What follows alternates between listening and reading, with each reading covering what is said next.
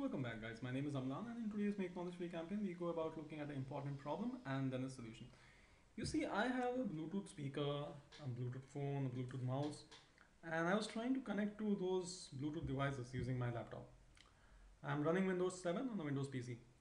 Unfortunately despite the Bluetooth adapters being turned on, drivers being there and updated, I somehow was not able to discover these devices.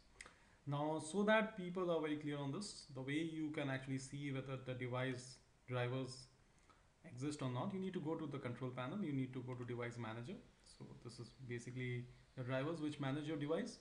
You can see you will have something called as Bluetooth radios in case the drivers have been installed. And in case uh, the drivers are not installed or something, you will have a yellow question mark appearing, which is not the case here.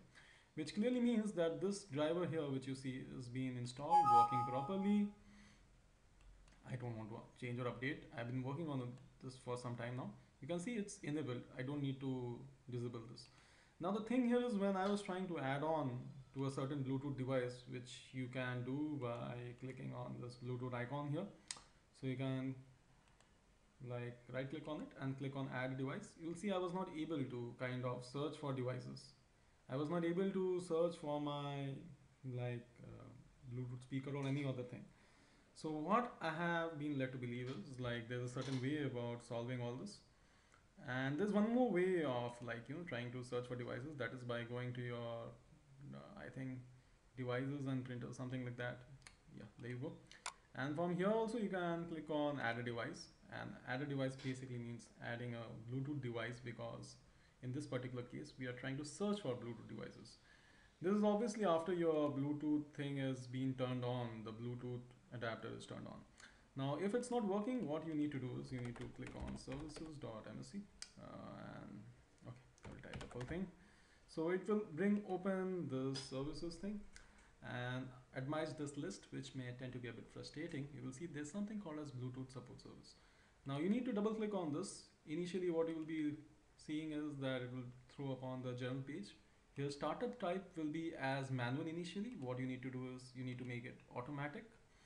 Once you need to, I mean, once you do this, you need to click on OK. And just not that, you also need to click on log on. Uh, it will show a password something on this account. What you need to do is you need to remove this password. Now, the thing is when you try to click on apply you can see it's gone to local account. This is also okay. You can simply go on to local system account. You need to just remove that password. This is fine. One thing which few people have been telling is they have been prompted with stopping and restarting the service and they really don't know what to do. So you need to simply click on stop. So what it means is stopping the bluetooth support service. Okay so it's stopping it and now it's restarting it.